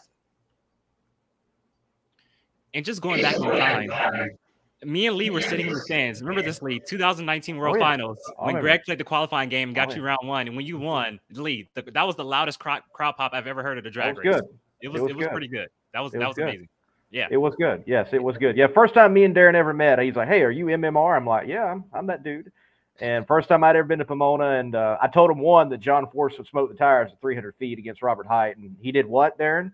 He smoked the tires at 300 yeah, feet. Yeah, and I said, and I and I said, who would win between Greg and Erica? I think you picked Greg. I, I did not pick Greg. I did not pick I'm Greg. joking. I'm joking. I'm joking. He he picked he picked you, Erica. That's okay. I'm totally just joking. but we, you know, as fans, media, we we you know we love to attach to rivalries, and uh, certainly you and Greg have that, and I think it's good for the class. I think it's good for the sport. But you've even mentioned it. You know, you're not old, but it's like you're you know, the veteran of the class along with Greg, and you all still have this rivalry. What do you think is going to be the future rivalry in pro stock? Who's it going to be? I know I know right now we have this elite KB thing going, but individually, who do you think it's going to be in the future when uh, Greg's off the scene and uh, d- dare I say you're off the scene as well later on, much, much later on down the road? well, hopefully much later. Um, I would probably have to say uh, TJ Coughlin, Aaron Stanfield, and Dallas Glenn. Um, they're the real young heavy hitters, and um, I'm privy to the data from our camp, and I know the caliber of driver that Aaron Stanfield and TJ Coughlin are. Um, you know, and and then speaking on the other side of that, the Cuadra boys, like as soon as like they get their comfort and confidence where we all think it is, uh, I think they're going to definitely be a force to be reckoned with because those boys are extremely talented. Uh, they can let the clutch out and be double low and do it consistently, not just close your eyes and take a stab at it. They are they are tremendous drivers. So I think there's a lot of really really talented young guns, but um, right to the front, I'm gonna put I'm gonna put TJ, Aaron, and, and Dallas, Christian, and Fernando Jr. I, I agree with that. I can't argue with that.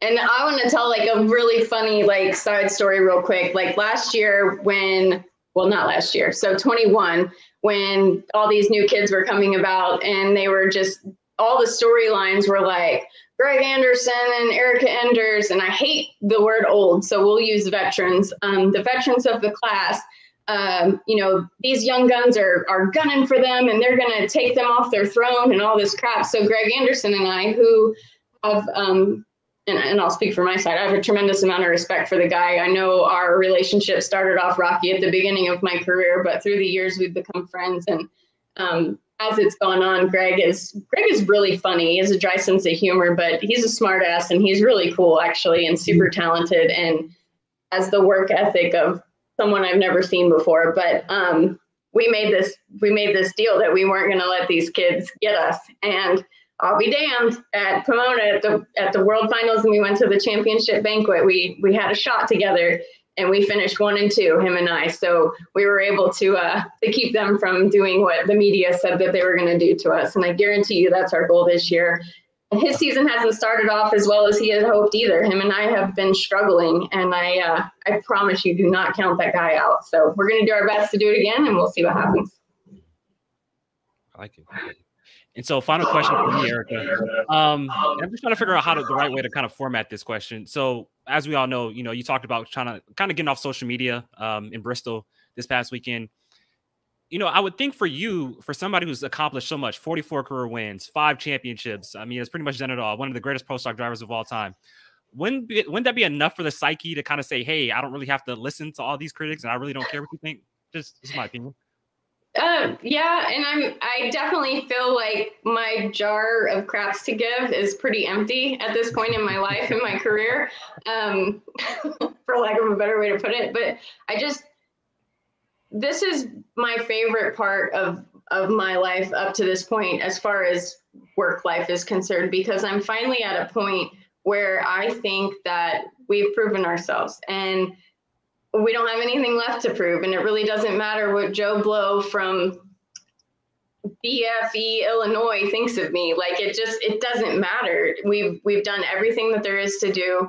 We're the winningest female world champion in the history of our sport, blah blah blah. You can go down our list of accolades, it doesn't matter. But yeah, I, I agree with you. I I shouldn't have to listen to it, but I was talking to to a dear friend of mine today on the phone and like social media gives people this platform to spew hate and disrespect with zero consequence. Like nobody's going to whoop your butt because you said something mean because they're sitting at home behind a little keyboard in their mom's basement talking crap when they've accomplished absolutely nothing in their entire life. So i have uh, a tremendous amount of hate for people that don't have the huevos to be able to say what they need to say to your face or to come come play with us write a check, get a car, get a hauler, get a team, come out and see if you can you can take us on if that's how you really feel. So I just I don't enjoy that aspect of it. And before Bristol, I did. I deleted Instagram and and Facebook. Uh, Kim Jong Un or somebody hacked my Twitter, so I don't even have Twitter anymore. But um, my sister fortunately handles all that stuff for me. But I just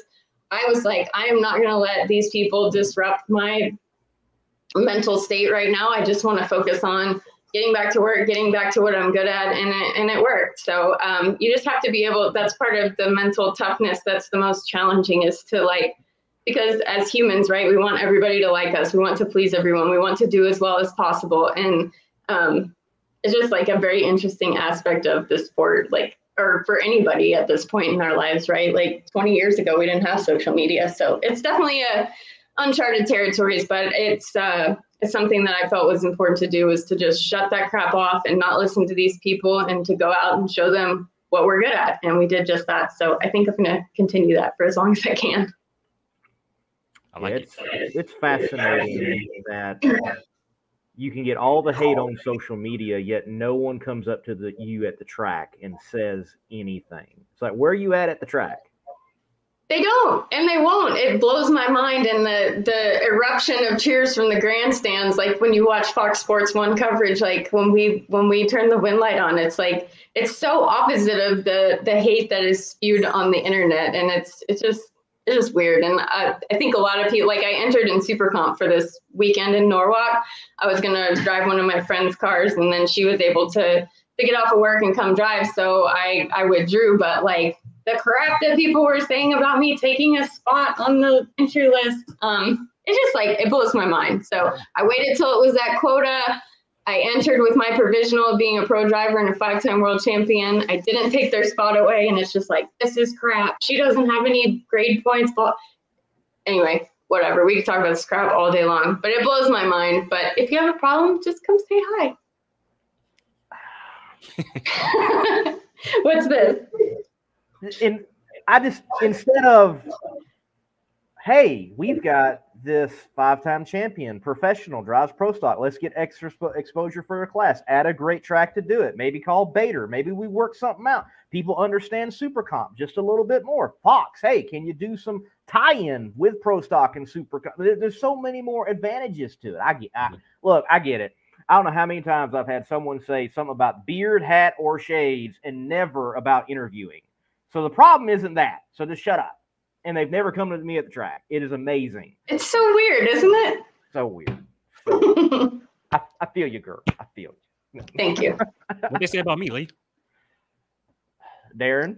Hang on, if you're if you're on the show long enough, they will hate you too. Just beware. People I know, are mean. I know, I know it's coming. I know it's coming. but I mean, how can you not like you? I don't get it. I don't get how people are so awful no, I, it's it's it is again it is a a modern psychological problem and factor that the keyboard is that barrier and people aren't getting popped in the face and they're not being dealt with and so on and so on and so on. For sure for sure. Well uh, we're going to let you go here really soon. I know you're looking forward to norwalk. Last question for you of the evening uh, do you intend to eat ice cream and what flavor will it be? I am. Uh, my favorite is Moose Track. I think it has the little miniature Reese's peanut butter cups in it. But you can't go wrong with mint chocolate chip. I don't know. Usually, like I'll I'll give one of my crew guys a hundred bucks and say, go see if you can pay somebody to cut the line and bring back as much ice cream as you can.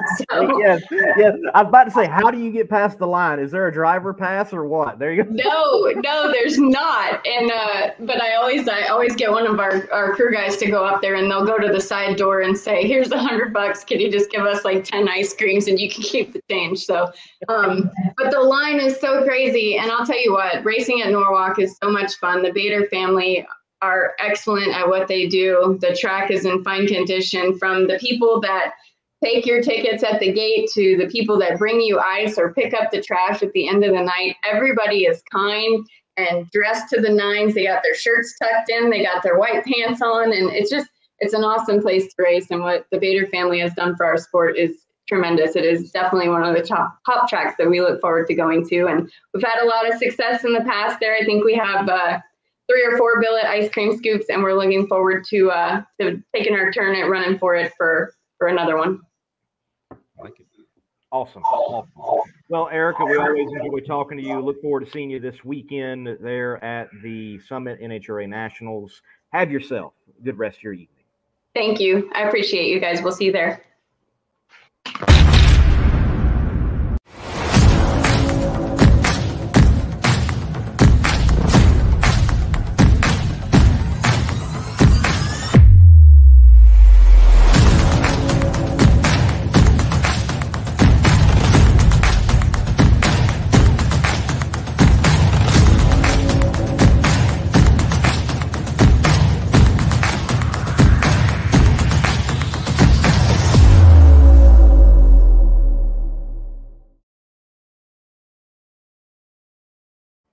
Mr. Williams.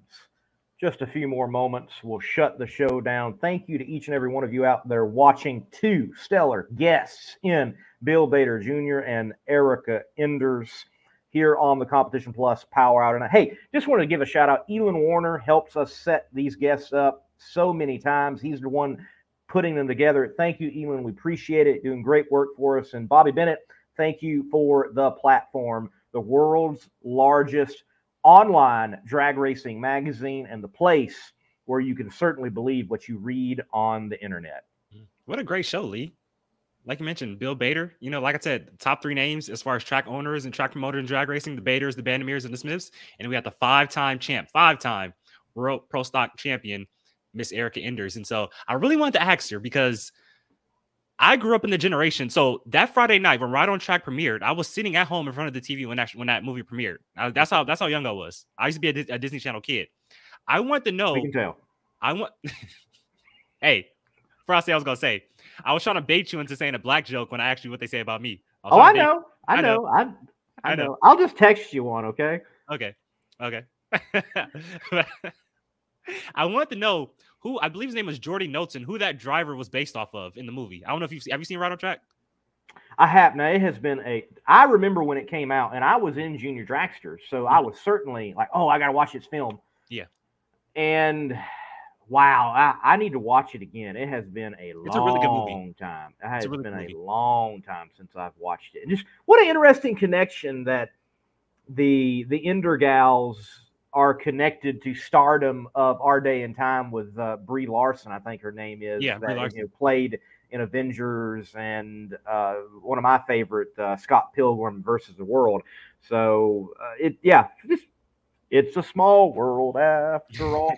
and how cool is it too? You know, you talk about Gum Out Pennzoil, obviously the whole Texas connection with Eddie Hill, obviously being uh, sponsored by Pennzoil. So um, yeah, just what an all around just great show. Like you said, you know, getting to talk, you know, Scott Kalitta, Eddie Hill with, with Bader, and just all around the world nationals, US nationals, uh, talking with the five time champion, getting into her psyche. Just just what an awesome show. Yeah, you know, the Bader conversation went into some places I did not expect it to go, which yeah. is refreshing. That is yeah. good. That's what we honestly want, I think, as viewers and as interviewers. We want it to go places that we uh, didn't expect and uh, the what he had to say for Eddie Hill, what he had to say on his dad, what he had to say for the World Nationals.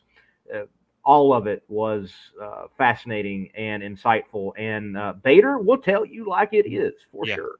And, and like I said, we talked about this last week, and it probably will never happen. But we got top sportsman, we got top dragster, we got pro mod, we got Norwalk on the schedule. If we're not going to put Norwalk, Norwalk should be Fourth of July weekend. I know we're what a week before Fourth of July or two weeks before Fourth of July. I know so it's around the same area, but if, if it's not Fourth of July weekend, it's in the it's in the Midwest. Put it two weeks before the U.S. Nationals. Call the World Nationals again. I, I don't know. I would like that. I mean, why not? Why not? No, no, dude, dude, dude. The NHRA peeps had have a hard enough time even mentioning. Look, they don't even play up, and, and I and I know this because I try to play it up on interviews and because I work for the dude. But like Doug Foley and Clay Millican cannot get away from each other. and those are old IHRA rivals that beat up each other, you know, in IHRA. They never mention anything. Mm-hmm. They never mention anything. Well, you know, per- like that that other sanctioning body, like it has been without nitro for years. It is okay. Say something. The side, like Alan Reinhart says, call it the side. What about the A side? You're right. AHRA, ADRA, you're right. Yeah. What about the A side? Or, or what about the the one off events? Like I believe it was the Popular Mechanics Nationals, and you had all these great events that were one offs and had big names coming to them. Yeah, look, you got the UD, the UDRA, a lot of a lot of old sanctioning bodies out there. Yeah, yeah, and, and I get it, I get it. You know, some will say like the real sanctioning body, NHRA, but at one time, I would argue IHRA was just as strong. And remember, IHRA was instrumental in bringing Winston into the sport. Hey, Bobby Bennett, uh, you know, I'm a, I'm full team in HRA, so if everybody know that, you know, full team in HRA. But Bobby Bennett has mentioned to me a bunch of times of how NHRA has adopted a lot of stuff from IHRA that's oh, instituted yeah. in today's NHRA. So, oh yeah. yes, oh He's yes. Let me know a lot of times. Yes, I I as a teenager went to several IHRA national events at what was at the time called Red River Raceway in Gilliam, Louisiana, and it was a spectacular show, and it mm-hmm. was a good show, and you know, at the time you at the time I was watching or going to an IHRA national event, they didn't have nitro funny car. It was just alcohol funny car, but with like the legendary Mark Thomas. Yeah. And these beautiful funny cars and the paint and and, and they were setting just as high of a numbers, if not higher, than what they were doing over in the NHRA in that class. And yeah, certainly top fuel wasn't quite as competitive and it was another level in NHRA, but there was still some stellar racing and some great characters. Then you had Pro Mod on top, and then I've always loved them. And they, yes, certainly were an IHRA deal, but they're mountain motors. I, mean, I remember the first time I saw an actual mountain motor pro stock, and I'm just like, dang, look at that motor. I'm ashamed to say the first time I've ever witnessed mountain motor pro stock was last year's U.S. Nationals in person. In person. Well, first time ever. First time know, ever witnessed it. You you think you're some spoiled SoCal boy because of all the nitro and nostalgia you've got, but y'all living in the past when the rest of the country's moved on and gave gave a lot more much cooler stuff into the world of drag racing and has diversified it. So you take that for however you may will. West Coast is the best coast, man. Look at you drinking water here on a uh, live on air. I like it. I like it. Talking a lot. Uh, so you're going to Norwalk, right? So I'm sure you're looking forward to that. I mean, you know, all the ice cream there. you can eat. You know, it will not be all the ice cream I can eat. Hey, hey, hey! You're gonna see your favorite top alcohol dragster driver, though? I know. So. I will be covering top alcohol dragster and top alcohol funny car intently okay. Because the storylines I think again are huge. Look, Darren, there's going to be 23 top alcohol dragsters going for 16 spots. Oh, I like it. We're talking about, yes, Julie Nataas will be there. National points leader. Tony Stewart is entered. Matt Cummings, which, far as I can recall, Matt, this may be his first national event he enters this year in a McPhillips ride, but he has won nearly every regional that he has shown up to in that McPhillips ride. So definitely major player there. Sean Cowie is going to be at the event also. Ooh, Cowie's so, coming. Uh, yes, if I looked at the sheet right, yes, he's going to be there. So we're already going to start seeing some West Coast players start dipping into the points because it has mainly, as of now, been a East Coast type of scenario where people on the East Coast have been racking up the points, such as Julie Nataas, such as a Tony Stewart, such as a Jackie Fricke. And Jackie Fricke will also be there as well. And now we're going to get into literally the Western swing, and you're going to see – uh, the you're going to see those defending even the defending champion out of the West Coast. You're going to see the Cowies, the Severances, and so on start swinging the pendulum back, and the points race tighten up. It gets fascinating in alcohol this time of the year, man. How many funny cars are showing up? Now, not a full field. I was expecting it to be a full field, and if you look at the car count, 14. But there are some notable people missing. For example, DJ Cox. Well, he hurt some things at regionally at Norwalk itself, and I believe even the regional before that.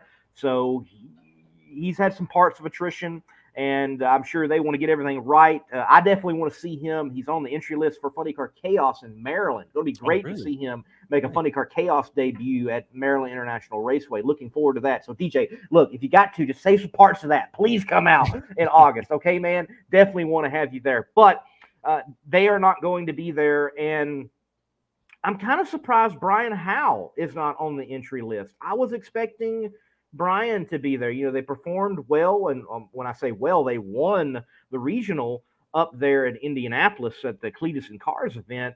I was expecting to see him at Norwalk. So, granted, though there's only 14 cars, this and not a full field, this is going to be one of the biggest, if not the biggest to date, funny car field that the NHRA has seen this year at a national event. Mm-hmm. So it is a big race because you have like the top five in points showing up. Mm-hmm. You're going to see a battle between Sean Bellemeur, uh, Matt Gill, Bob McCosh, and the big players there. It's it's going to be a dogfight. Keep your eye on top alcohol funny car. Mm-hmm. I like I like it. You know, like you said, not a full field, but 14 cars. I, I can respect that right there. And just going back on Dragster, 23 cars showing up. I love, you know, I love a good bumpy. And so Q3 is gonna be very dramatic on Saturday afternoon. I cannot wait for that. Q3 is gonna be amazing. It, yes, and it's one of those situations where it, it it also is interesting who is not there. So Jasmine Salinas is not on the entry list, and yet she was at the regional. Uh, Mike Coughlin is not on the entry list, yet he was at the regional. Both cars went out round one. Uh, you know, oddly enough, they're not at the, the Norwalk National event now. And, you know, those are people in point standings. I think also keep your eye on Hunter Green. He's going to be in the other Randy Meyer racing car. Well, that other Randy Meyer racing car, the test car, at the regional. If you look back at my recaps from the regional, the Cavalcade Stars, it was one of the best performing cars out there. Mm-hmm. And they've got it on track along with Julie's car. So, yeah, keep your eye out on Hunter as well. So, what I'm saying is, you got some players coming that, though Hunter isn't necessarily pursuing, I would think, a national championship, he's definitely pursuing a Wally and can definitely shake up the point situation for top alcohol dragster. No, I definitely do agree with that. So, you know, looking forward to this weekend and just full weekend of racing. Top Fuel, Funny Car, Pro Stock, Pro Stock Motorcycle, Alcohol Dragster, Alcohol Funny Car, Factory Stock Showdown, and also Factory X making an appearance this weekend as well, correct? Well, and we actually have seen footage of a Factory X car going down the track and not crashing which has been been great. And uh, look, shout out to Jeff Turk. Uh, I don't know if it was related to his accident or not, but uh, one, Jeff, uh, hope you keep getting better and mending. But he had like a brain bleed issue. Oh, really? And had to visit the hospital. And from what I understand, he is doing better. I don't know if that was complications from the the wreck he had in the factory X car as they were shaking it down and trying to get things right with it. But uh, we need to have a good. We need to have him back on the show. Great character great ambassador for that class and uh, get some insight from him. But Aaron Stanfield was shaking uh, down a Factory X car there at the Texas Motorplex. That beautiful machine. No, it, it's Aaron. No, hang, hang on. Anyway, he's connected with the Stanfields, shaking down the car, and beautiful car because it's like a Butch Leal looking tribute thing, and it, it, it's it's it's on fire for sure.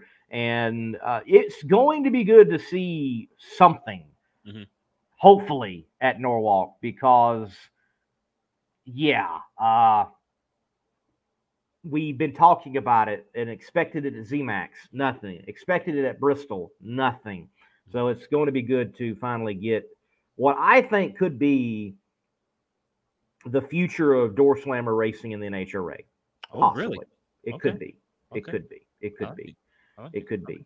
And uh, Corey Edward Ford mentions that the hat does look good. Well, yes, you can get all your Funny Car Chaos gear. Just uh, search on the web. You can get a good looking hat just like this. You just can't find the good looking man wearing it. I like it. I think I think we should end the show there. I, look at. I think we should too. I think we should.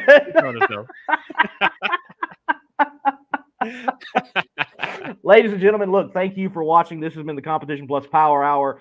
I'm Lee Craft, aka the Monday Morning Racer. Over there is Darren Williams Jr., the assistant editor for Competition Plus. This has been episode 133. Thank you to Bill Bader Jr. and Erica Enders for their time. Thank you for your time. Join us next week right here on Tuesday night, 9 p.m. Eastern Time.